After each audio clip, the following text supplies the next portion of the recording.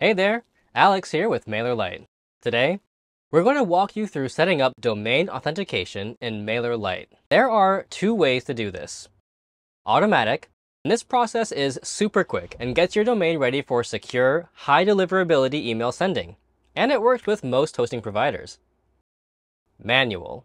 This option lets you add DNS records yourself, giving you control over each step if your provider isn't supported for automatic setup. Let's start with the automatic method. First, make sure you're in your MailerLite dashboard. Head over to Account Settings in the left sidebar, then click Domains. Under Sending Domains, click on Add Domain. Enter an email address using your custom domain, like name at yourdomain.com, and click Save. Once you input your domain, you'll see a pop-up to connect your domain to your website. This is the Automatic Domain Authenticator. At the bottom of the pop-up, you'll see a link to manually authenticate your domain as well.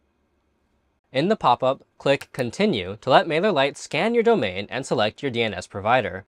If it's one of our supported providers, the automatic setup process will start. Now, log into your DNS provider when prompted. After logging in, follow the steps to authorize MailerLite to configure your DNS and add the necessary records. Once the DNS configuration is done, you'll be redirected back to MailerLite. Refresh the page to check your domain status, it should show as authenticated right away. If it says authentication in progress, don't worry. It may take up to 24 hours to update. In a few cases, you might see another status besides authenticated or authentication in progress. These status indicators help you understand where you are in the process and what actions to take, if any, to keep your domain authentication on track. Manual Domain Authentication if your provider isn't supported or detected during the automatic process, no worries. We've got you covered with manual authentication. In the Domains tab, click on Authenticate next to your custom domain. If you're just putting in the domain, click Manually Authenticate Your Domain in the pop-up. If your hosting provider is not supported, you'll be presented with the Manual Authentication window, where you'll be able to go step by step to create the DNS records you need to authenticate your domain.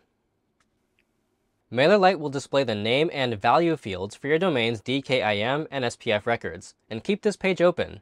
You'll need this information here in a moment. Now, head over to your DNS provider's settings page and locate the section for DNS or domain records. Keep in mind that this portion can look different depending on which provider you're using. For this video, we're using Ionos. First, create a new record.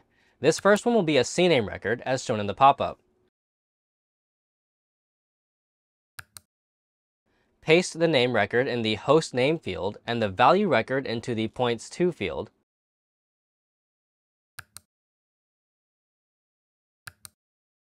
In some cases, if your DKIM record fails, try removing your domain from the end of the CNAME record name. If you run into further errors, check out our domain authentication troubleshooting article.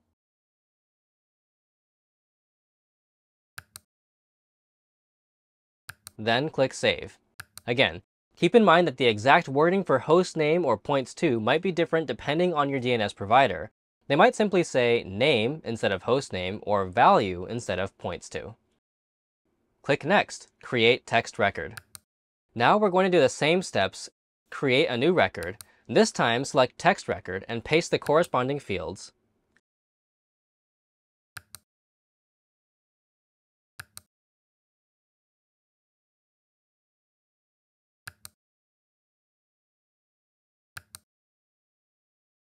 Hit save.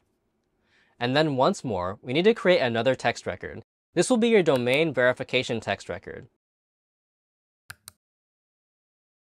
Paste in the values given in the MailerLite pop-up.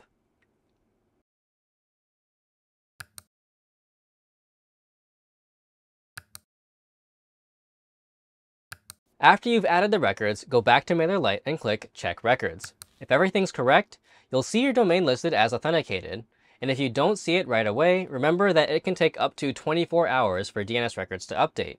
You can always come back and check the status a little bit later.